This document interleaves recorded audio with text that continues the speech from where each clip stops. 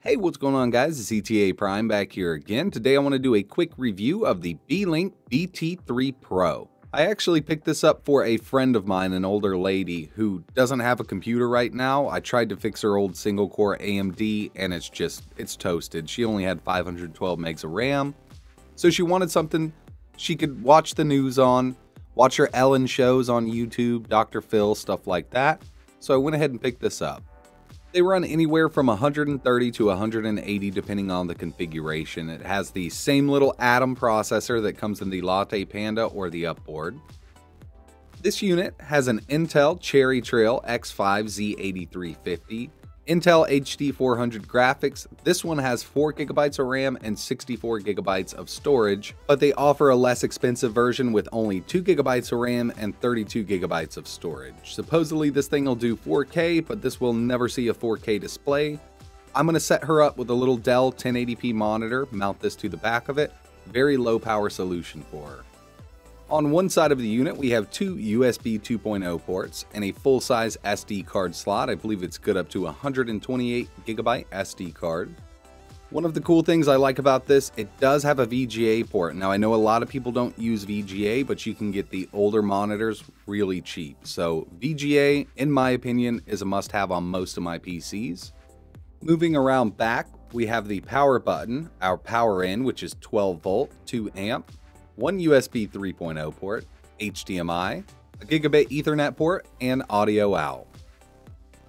This unit did come with a 1 foot HDMI cable, a 6 foot HDMI cable, a 12 volt 2 amp power supply, and a VESA mount with screws. So the VESA mount will allow you to mount it to the back of a monitor, and that's exactly what I'm going to be doing. On the front of the box, as you can see, we have 4K Ultra HD, extended display, M.2 SSD extend, and Intel inside. So these are supposed to have an M.2 SATA slot inside. That's one of the reasons I got this to expand it to 128 gigabytes. But when I took the unit apart, there was no M.2 slot on the board itself. Really disappointed. I was going to upgrade it to 128 gigabytes. 64 is going to be fine and she could use an external hard drive, but that's very disappointing because it is advertised with an M.2 slot. This is a fanless, passively cooled system. It doesn't have a copper heatsink, but the aluminum heatsink is pretty beefy and I think it's going to keep it cool enough. Not much going on on the back side. I wasn't expecting much there. I mean, we do have the real-time clock battery, but that's about it. So I could have just went with a cheap Android box for her video playback, but she loves to use Quicken and she wants to do her taxes at the end of the year, so I figured she needed a Windows PC to do this. She was running XP. I'm sure she can get used to Windows 10. I'm going to explain it to her a little bit. I'm going to go ahead and boot this up and see how it performs. Alright, so I got it booted up, everything updated, it's ready to go. I'm going to open up the task manager and we'll go to performance up here at the top. For the CPU, we have the Atom Z8350 at 1.4 gigahertz. This does turbo up to 1.9 when it's needed. 4 gigabytes of DDR3 1600 RAM. Now this is soldered to the board, so you cannot upgrade this. It would have been nice to have just one single DIMM inside of here. 64 gigabytes of onboard storage. This also cannot be upgraded. This is an eMMC module. And it does do 5G network. Now my 5G is way in the back, so I'm just on 2.4. Does decent though. So in this video, I'm not going to be testing any games. I'm just going to be doing everyday tasks like surfing the web, checking the news, watching YouTube, going to Netflix, stuff like that. If you want to see this CPU and GPU playing games, I have several videos. I'll leave links in the description. First up, we need to hit Yahoo News.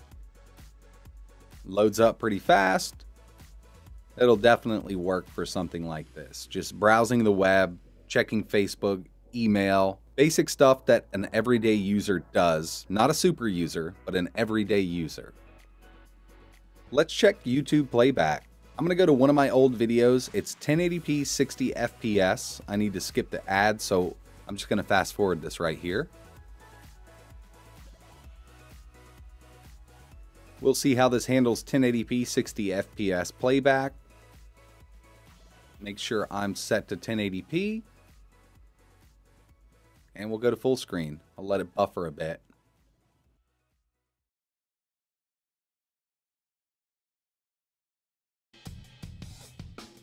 So even though this isn't fully buffered out, we should have smooth playback and I can already tell that it's not smooth at 1080p 60 FPS. Could be my connection, but I'm more than halfway buffered with it. It shouldn't do this. Got a lot of drop frames going on. I've tested this CPU GPU combo in a lot of other little devices, single board computers and stuff like that. I have had trouble with YouTube playback at 1080p 60 FPS. So it's not just this unit, it is the CPU let's go through half of it. And now it's fully buffered, so it shouldn't lag at all, and we're still getting drop frames. Let's go to 720p and see how that works.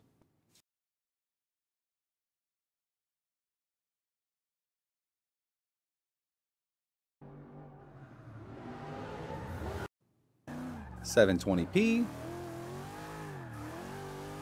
I can still look at the picture and tell it's still a little bit laggy.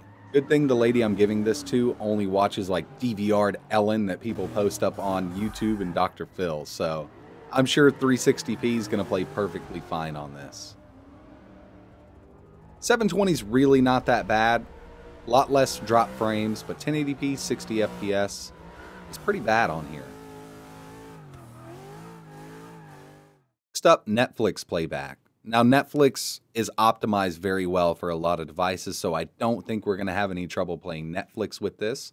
I have to turn the sound off for this video just in case there's any copywritten music.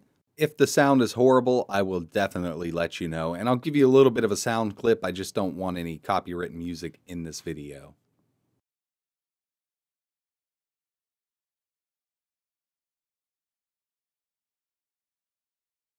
Average student studying to be a dental technician.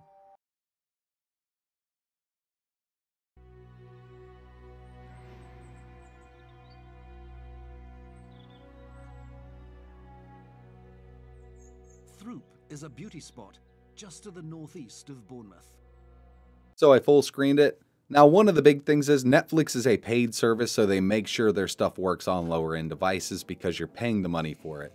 It's very optimized for tons of devices so I was pretty sure we'd get good playback with this. So my thoughts on this unit, it's actually pretty decent for somebody who just needs a computer, a basic computer to surf the web, watch YouTube, play Netflix, maybe play a few online games. I'm sure Minecraft, the Windows Store edition, is going to run great in here. If you're a super user, you're going to need something more powerful.